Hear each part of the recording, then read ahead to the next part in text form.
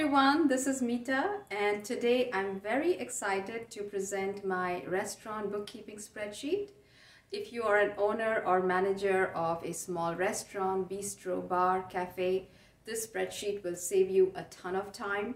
It's already set up, so there is no setting up for you to do. You can enter your income and expense transactions right away. You can also enter any capital expenses and any loans related to those uh, purchases like equipment, furniture, etc.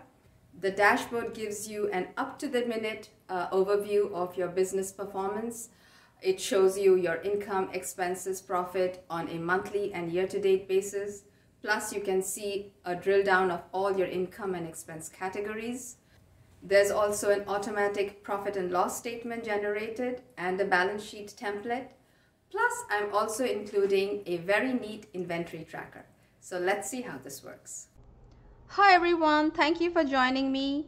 I am very excited to present my restaurant business bookkeeping tracker. This is very easy to use and I'm first going to go over all the tabs in the spreadsheet and then go into a little more detail. The first tab is the settings tab and over here is where you get the different income and expense categories and you can also enter your company name and the fiscal period. The next tab is the dashboard and this is where you get a bird's eye view of how your business is performing along with graphs. Then we come to the income tab and this is where you would enter all your transactions. This is the expenses tab where you would enter all your operating expense transactions.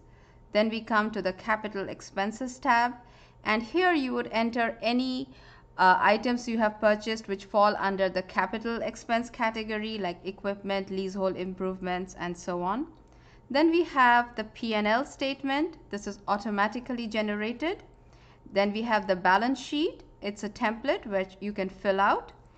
And you have a debt schedule where you can enter information related to any loans that you currently have. The settings tab is where you can enter your own uh, company name. You can change the fiscal period if you like simply by typing in these boxes. Uh, the income sources, operating expenses, cost of goods sold and capital expenditure categories already come pre-filled but you can go in and change any of these as you like. Simply go in and type it in. Let, let's say we call this other income source. And similarly, you can do the same for the operating expenses, cost of goods sold, and capital expenditures. The dashboard gives you a bird's eye view of how your business is performing, both on a year to date as well as a monthly basis. Over here, you see the annualized uh, view or the year to date view. You get to see your income, gross profit, net profit, uh, uh, cost of goods sold, operating expenses and you also get the same information on a monthly basis. You also get a drill down by each income source and by month. Similarly for cost of goods sold and for operating expenses. You also get to see what your capital expenses were for each month. And on the top, you have these graphs which quickly give you uh, a look into how your business is performing uh, the percentages of income and the expense categories. Now we come to the fun part. This is the income tab and this is where you would enter all your income transactions. You can enter this on a daily, weekly, monthly basis as convenient for you. So say we enter for April 30th. Our food sales for that month were, say it was 34,000 say the sales tax for that that we paid was 3400 and the tips that we received was 6000 so as you can see these amounts get uh, summed up on top. And your dashboard also shows the figures. For April it was 34,000 Also another point to note is that the income that will get uh, recorded in the dashboard and the P&L statement is the income net of sales tax and tips. So as you can see in the dashboard, the total income is 162,000 and this is what you would see over here as well as in the profit and loss statement. Now we come to the expense transactions tab and here too you can enter it on a daily, weekly, monthly basis as convenient to you. Say for April 30th, we have payroll expenses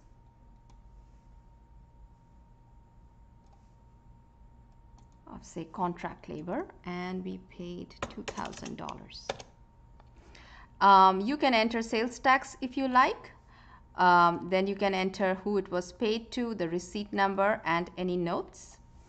And you can again get as detailed as you like because you can have front of the house wages again broken down into management or hourly and you also can enter all of your cost of goods sold expenses like food cost, uh, meat cost, poultry cost, etc.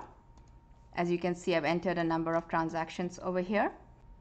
Then we come to the capital expenses tab and over here you can record uh, purchases made for assets like equipment, leasehold improvements, any vehicles, furniture fixtures and so on. And you can also enter any, any loan related information related to each of these expenses. Then we come to your profit and loss statement. This is automatically generated and is also printable. So it's very handy to have at the end of the year to either give to your accountant or use yourself for tax filing. And here is the balance sheet. Uh, you can use this as a template to fill out uh, all of your uh, asset and liability information.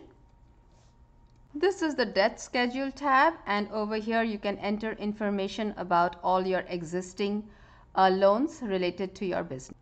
I'm also including a restaurant inventory tracker with the restaurant bookkeeping spreadsheet.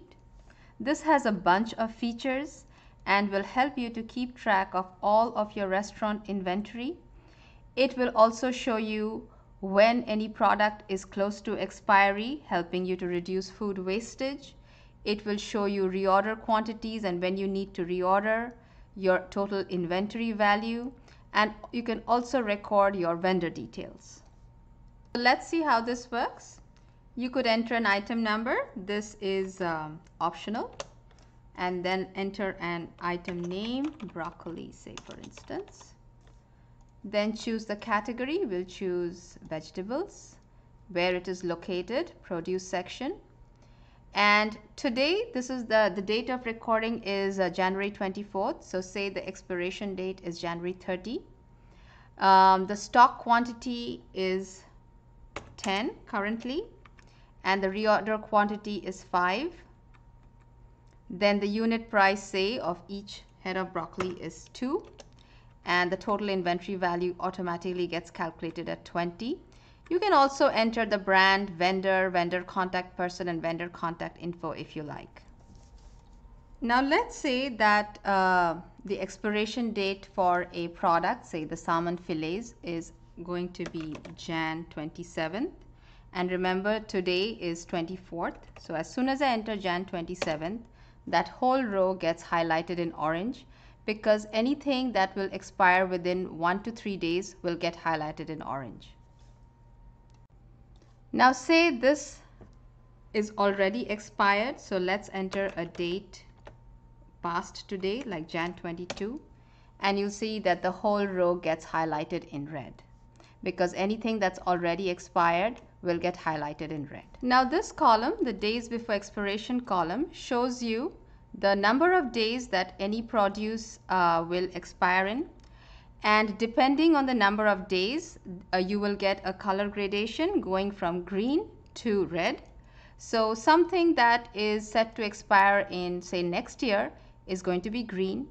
Something that's closer to expiry like say in February 24th is uh, more like a light yellow and of course anything that has already expired will be highlighted in red Another feature is the stock quantity and reorder quantity. So when your stock quantity, your current stock quantity falls below the reorder quantity that you have set, this column, the reorder column, will tell you yes, you've got to reorder it and the whole row will also get highlighted in gray. For, for example, say the multigrain bread, uh, you have set the reorder quantity to 20 and currently in stock you have 12. Immediately the whole row gets highlighted in uh, gray and you are told yes, it's time to reorder. Thank you so much for watching. You can get the spreadsheet at my website moneyusage.com. The link to the spreadsheet is also in the description and comment section below. Uh, if you like this video, do please give it a like and subscribe to my channel so you can see more of my videos. And do also please leave me your comments, uh, questions and suggestions. And I'll catch you in my next video.